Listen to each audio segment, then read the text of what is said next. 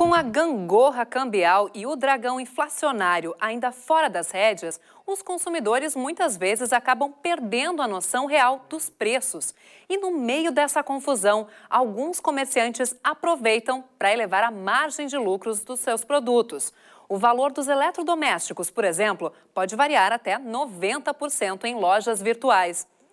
Por isso, na hora de comprar, os brasileiros começam a descobrir as vantagens dos sites que fazem aquele trabalho chato de pesquisa e comparação de preços entre as diferentes lojas. Além da busca no conforto do lar, o consumidor também pode conseguir descontos generosos que não estão disponíveis nas lojas físicas. Para quem deseja pagar menos por um eletrodoméstico, o jeito é bater perna e pesquisar. Como essa professora que pensa em comprar um fogão olhando, vim fazer uma pesquisa de preço. O que está achando 899? Não, estou achando salgado, por isso eu vou dar uma olhada. Como é a primeira loja que eu entrei, é que tem que ver também o que, que o produto oferece, né? Sim. Senão, não vale a pena.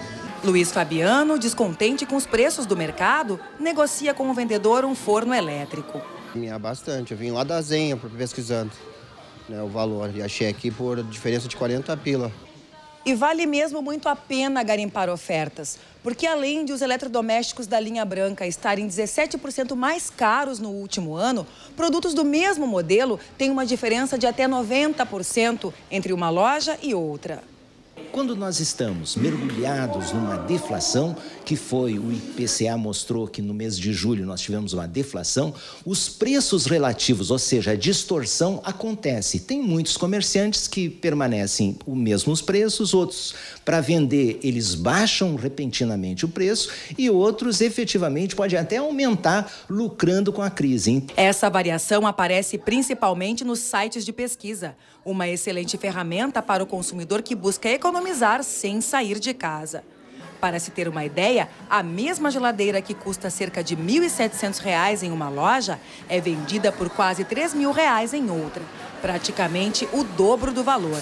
Além dos custos com energia elétrica, impostos e alta do dólar, essa oscilação de valores tem outros fatores.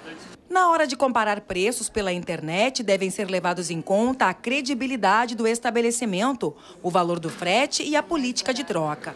Seja através de sites ou na loja física, o fundamental é que o consumidor faça uma boa compra sem sentir no bolso. Pesquisando. É o jeito, né? Sim, senão não dá, né? Aí não dá no orçamento.